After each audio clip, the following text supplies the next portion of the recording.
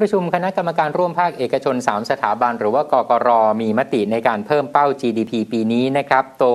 0.5 ถึง 1.5%จากเดิมคาดไว้ที่ 0 ถึง 1%โดยได้รับแรงหนุนจากนโยบายการเปิดประเทศ รวมถึงการผ่อนคลายมาตรการล็อกดาวน์ที่จะส่งผลดีต่อความเชื่อมั่นของผู้ประกอบการและภาคเอกชนครับคุณสนั่นอังอุบลกุลประธานกรรมการหอการค้าไทยในฐานะประธานคณะกรรมการร่วมภาคเอกชน 3 สถาบันหรือกกรบอกว่า ที่ประชุมกกรประจำเดือนพฤศจิกายน มีมติในการปรับกรอบ GDP ปี 2564 ดีขึ้น เป็นขยายตัวอยู่ในกรอบ 0.5 ถึง 1.5%จากเดิมคาดไว้ที่ 0 ถึง 1%ผลจากการเปิดประเทศตั้งแต่ 1 พฤศจิกายน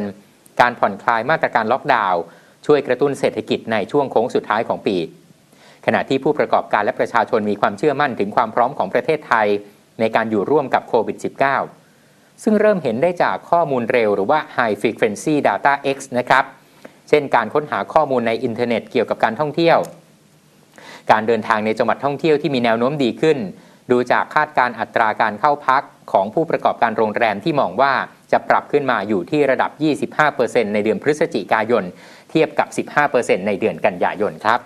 ส่วนภาคการค้าปลีกนะคะ ก็น่าจะผ่านจุดต่ำสุดมาแล้วในช่วงไตรมาส 3 สอดคล้องกับมุมมองของนักธุรกิจต่างชาติในประเทศไทย ก็เชื่อมั่นในการฟื้นตัวของเศรษฐกิจในช่วงไตรมาส 4 ซึ่งสัญญาณเหล่านี้ทำให้คาดการว่าภาวะเศรษฐกิจในช่วงปลายปีจะคึกคักมากขึ้นค่ะ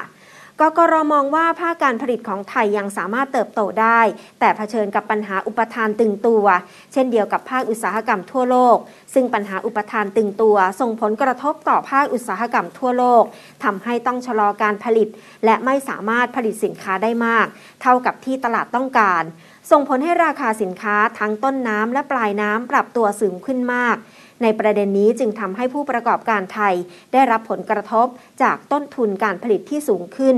โดยดัชนีราคาผู้ผลิตสูงขึ้นราว 5%เมื่อเทียบกับปีก่อนหน้าค่ะ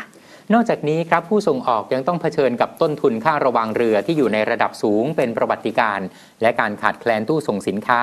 จึงต้องติดตามภาวะต้นทุนของผู้ประกอบการอย่างใกล้ชิดต่อไปกกรเสนอแนะให้ภาครัฐออกมาตรการเพิ่มเติม อย่างเช่นช็อปดีมีคืน ช่วยให้เศรษฐกิจปลายปีนี้คึกคักต่อเนื่องไปยังปีหน้า และมองว่าหากภาครัฐผ่อนคลายและโปรโมทกิจกรรม เทศกาลทั้งงานลอยกระทง และงานปีใหม่ได้ ก็จะเป็นตัวเสริมให้บรรยากาศเศรษฐกิจดีขึ้น ซึ่งแต่ละกิจกรรมควรเน้นย้ำให้ปฏิบัติตามมาตรการป้องกันโรคอย่างเคร่งครัด เพื่อลดความเสี่ยงการระบาดในรอบใหม่ครับ